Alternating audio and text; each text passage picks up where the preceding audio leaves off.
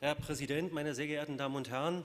Am vergangenen Sonnabend, dem Internationalen Tag gegen Homophobie, brachte das Heute-Journal einen Bericht, und zwar nicht nur einen Bericht über die große Enough is Enough-Demonstration, sondern auch einen Bericht über den Lebensort Vielfalt, auf den Herr Birk schon mal eingegangen ist. Äh, ein, ein Angebot der, der Schwulenberatung hier in Berlin. Ich fand das einen sehr einfühlsamen und klugen Bericht über das Altwerden von Lesben, von Schwulen, von Transmenschen. Denn ja, auch Queers werden alt und sie werden sichtbar alt und sie brauchen natürlich altersgerechte Zuwendung, Pflege und auch Bleibe. In dem Bericht wurde geschildert, was notwendig ist. Zum Beispiel entsprechende Projekte und Angebote, die auf die spezifischen Bedürfnisse von Queers eingehen. Und da geht es nicht um den sexuellen Bereich, Herr Krüger, sondern da geht es um den Menschen und die Menschen in ihrer Gesamtheit als Persönlichkeiten. Es geht hier nicht um Sexualität, sondern es geht um sexuelle Orientierung, Geschlechtsidentität. Das ist was anderes. Zum Beispiel könnte der Senat preiswerte Immobilien und Grundstücke bereitstellen, um dem gewachsenen Bedarf gerecht zu werden.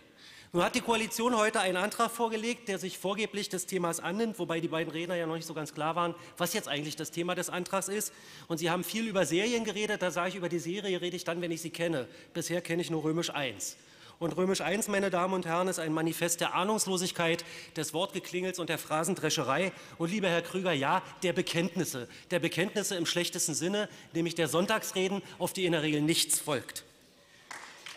Diesen Antrag als Weiterentwicklung der Initiative für Selbstbestimmung und Akzeptanz sexueller Vielfalt zu bezeichnen, das hat die ISV wirklich nicht verdient. Und gehen wir mal in die Details. Die Koalition begrüßt unter Punkt A die Verankerung des Diversity-Prinzips als festen Bestandteil von Altenhilfe- und Pflegediensten. Und er bittet den Senat, das, Zitat, zu verstetigen, zu vertiefen und weiter auszubauen.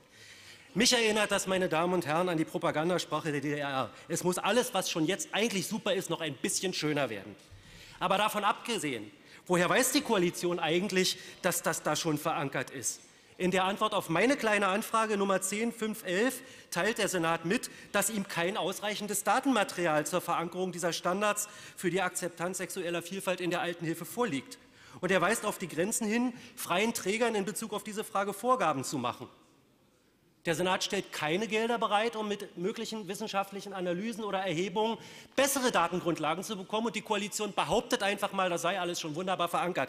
Das ist die Hybris der Koalition. Das ist die Ablösung von, jeden, von jeder Faktengrundlage, die diese Koalition in dem Themenbereich kennzeichnet.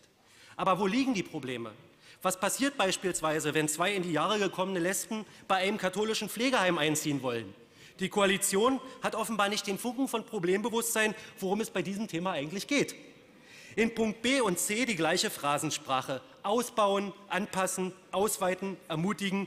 Nichts Konkretes, Bekenntnisse, die erstens den Status quo preisen und zweitens darum bitten, nicht nachzulassen, damit alles noch besser wird. Punkt D und E sind geklaut. Und zwar zum Teil einfach wörtlich übernommen aus unserem Antrag zu einer ISV 2.0 vom 14. November 2012 können Sie nachlesen in der Drucksache 17 0652 in den Beschlusspunkten 22, 25, 27 und 52. Geklaut aus einem Antrag, den die Koalition jetzt seit anderthalb Jahren verschleppt hat und im Bildungsausschuss auch schon abgelehnt hat. Also, wenn Sie hier reden, Sie wollen mit uns darüber diskutieren und so weiter. Sie hatten zwei Jahre Zeit, mit uns zu reden und zu diskutieren und passiert ist überhaupt nichts. Also, wenn das alles ist, was die Koalition zu bieten hat, dann sage ich armselig, einfach armselig. Der Senat hat bereits 2012 in besagter Antwort auf meine Anfrage mitgeteilt, im Grundsatz wünscht sich der Senat eine stärkere Einbindung dieser Personengruppen in die Arbeit der seniorenpolitischen Gremien. Passiert ist nichts. In der Sprachphraseologie der Koalition sage ich mal, dieser Wunsch des Senats sollte verstetigt, vertieft und weiter ausgebaut werden und vielleicht endlich in konkretes Handeln münden.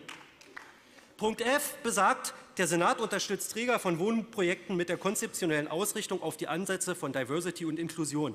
Das ist in seiner Schlichtheit so peinlich und es steht pars pro toto für den ganzen Antrag. Da der Koalition nichts Konkretes einfällt, wird schwadroniert.